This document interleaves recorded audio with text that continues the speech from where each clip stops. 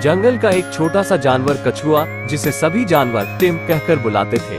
Tim एक बहादुर और मेहनती कछुआ था।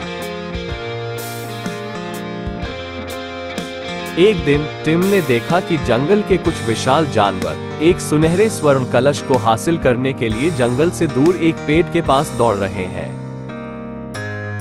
टिम ने सोचा कि वह भी स्वर्ण कलश को प्राप्त करने की कोशिश करेगा। वह भी उनके पीछे पीछे जाने लगा।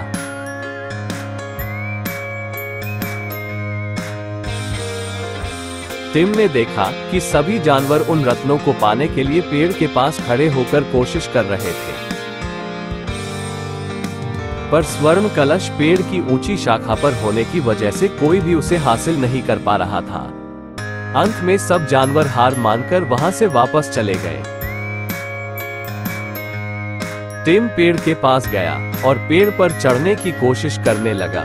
उसने हार नहीं मानी और निरंतर प्रयास करने लगा।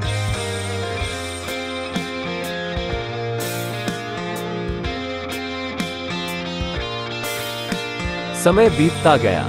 दस दिन लगातार मेहनत के बाद अंत में टिम ने सफलता हासिल की और स्वर्ण कलश को सुरक्षित तरीके से प्राप्त किया।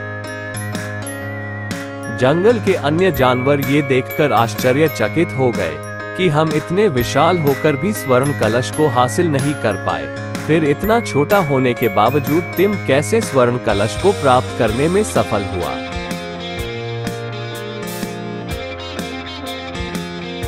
टिम ने सबको सिखाया कि किसी का आकार छोटा हो या बड़ा, अगर वह किसी क्षेत्र में निरंतर प्रयास और मेहनत करता है तो उसे सफलता ज़रूर प्राप्त होती है।